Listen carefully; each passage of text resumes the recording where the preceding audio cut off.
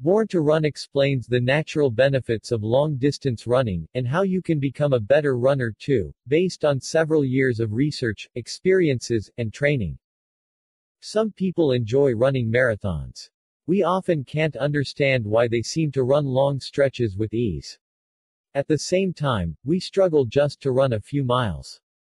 Maybe you think these people are crazy and have superhuman abilities.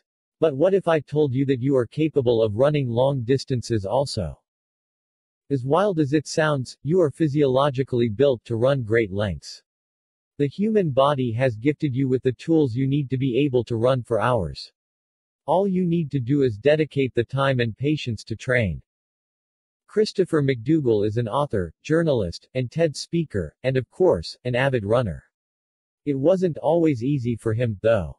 He suffered from a painful foot ailment that doctors said would prevent him from ever running again. In search of a remedy, he found the Tarahumara Indians of Mexico, who are the best distance runners in the world. From them, he learned the healing effects of barefoot running and that the secret to becoming a talented distance runner is remembering to love it. McDougall's book Born to Run, A Hidden Tribe, Superathletes and the Greatest Race the World Has Ever Seen is credited for sparking the barefoot running movement. In it, you'll learn the secrets of the best runners in the world, and how you can become a superathlete too.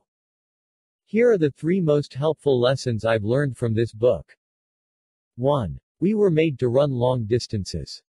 2. Our bodies are built to run barefoot, and it's better for our feet.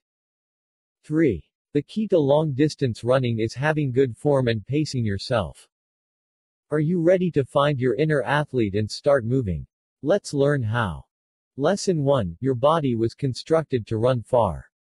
Compared to animals like horses, you might think your human body is pretty slow. But did you know those two legs of yours are capable of outrunning any animal on the planet? When talking about sheer speed, many animals will win over a short distance. But where Homo sapiens wins is endurance. On a hot day, someone who is fit can outrun a horse in a marathon. This is because human bodies are efficient. Your body can regulate temperature much more efficiently than other animals through sweating. Most other mammals can't sweat, so they are forced to release heat through breathing. They are much more prone to overheating and have to stop much sooner than us, or they risk heat exhaustion. Another advantage comes from being on two legs. When four-legged animals run, they break into a gallop. It's quick but the movement of galloping legs compresses the animal's lungs. Because of this, when these animals run fast, they can only breathe one breath per stride, which they are unable to keep up after too long. Our ability to run on two legs, though slower, allows our chest to expand and thus enables us to increase air capacity. This means, unlike any other animal, we can breathe at whatever rate we need. Lastly, our specialized Achilles tendon also gives us a leg up on the competition. As it stretches, the Achilles stores energy. When that power is released, it propels us forward. This allows us to use less energy per step than other animals. Lesson 2. Dumping the running shoes and running barefoot is more natural and better for your feet. By now you might have heard about the barefoot running movement, or maybe you've seen people doing it. No, they didn't lose their running shoes or their mind. Running barefoot is much better for your feet. As we've seen, our bodies have many evolutionary traits that help us run. Your feet also have natural gifts that are hindered by running shoes. Modern running shoes stabilize the foot too well. When we run, our foot rolls inward, which is called pronation. This acts as a shock absorber for our lower leg. Unfortunately, we blamed pronation for a common ailment called runner's knee. Because of this, pronation alleviation shoes flooded the market, though only 3% of people have a medical need for such shoes. For most runners, wearing a shoe is not unlike wearing a plaster cast around the foot. Like a cast, a shoe inhibits movement and causes the muscles in the foot to lose strength. Because of this imbalance, the rest of the body has extra stress on other muscles and joints, and the risk of injury increases. Shoes also harm your good form. Because they are so cushioned, runners can't feel the discomfort from harmful impacts on the ground as they run.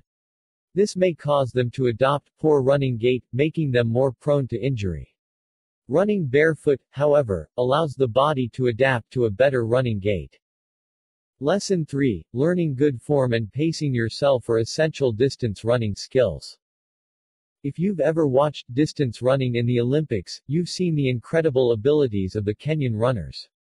When a physiologist set out to find out their secret to elite running, he discovered it was in their form. The Kenyan runners' leg contractions were quicker as was their foot turnover.